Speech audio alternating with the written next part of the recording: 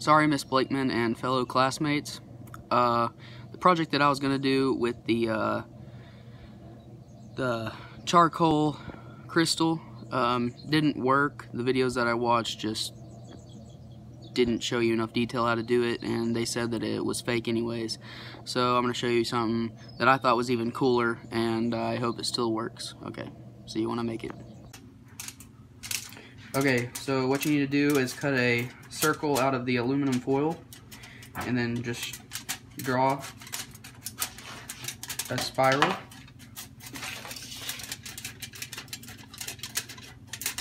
And just cut it.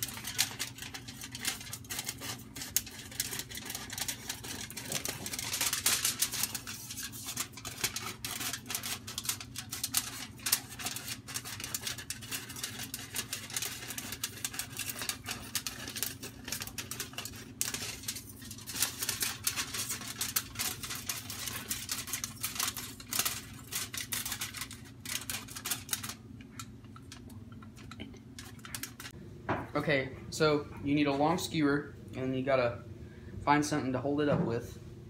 Okay. Then you get your aluminum foil. And then you just wrap it around like this.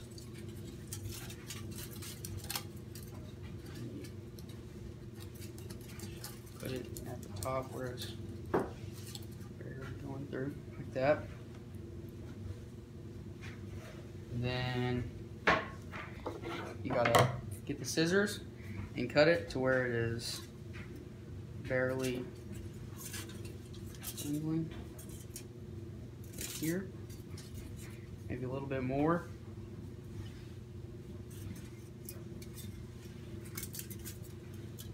Probably like that.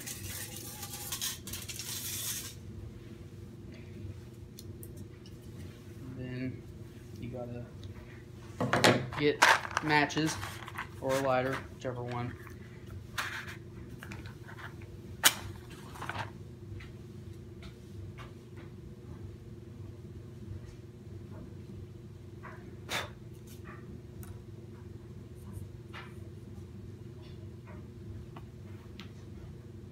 No. Okay, so we had to redo this uh, thing because the aluminum foil got cut um, and we crinkled it accidentally, but this time it should work.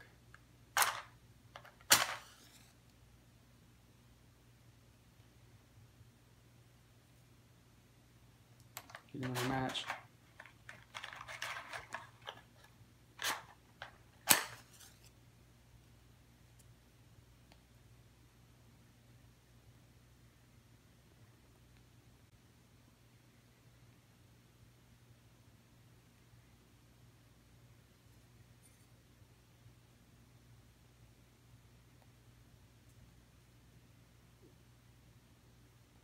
Okay, so the easiest way I can explain what just happened is that as the aluminum foil is spinning on the skewer, the reason it does that is because the thermal radiation from the match actually like uh, interacts with it and makes it spin.